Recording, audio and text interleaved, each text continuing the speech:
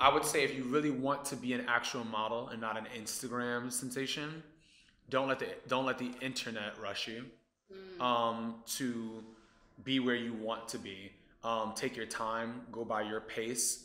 Um, don't go too slow. Um, you know, stay on track with things and stay you know with the wave.